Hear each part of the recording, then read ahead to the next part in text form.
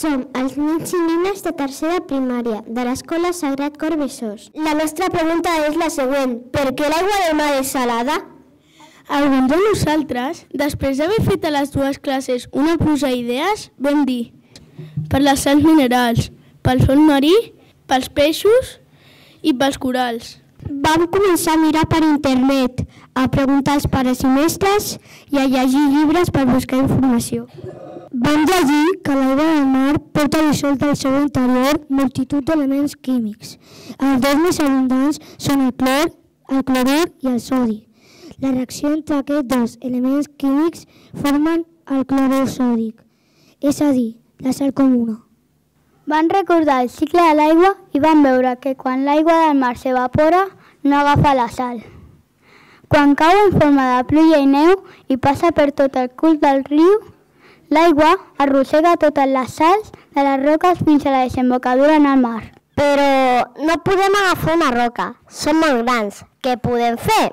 Podem agafar sorra de la platja, ja que està causada per la sedimentació de les roques. Vam aprofitar la sortida de la platja per agafar sorra i entre tots vam decidir fer un simulacre del curs d'un riu fins a arribar al mar.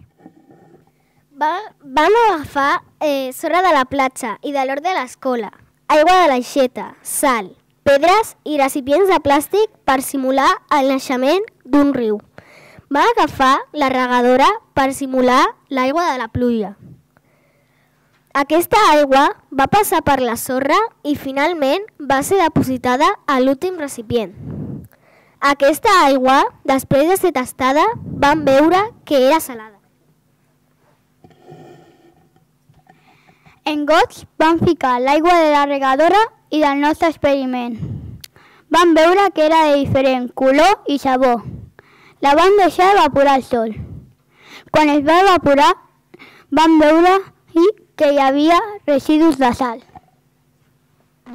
Els nens i nenes de tercer de primària seguiran investigant perquè m'ha sortit moltes més preguntes a partir d'aquest experiment. Moltes gràcies. Moltes gràcies.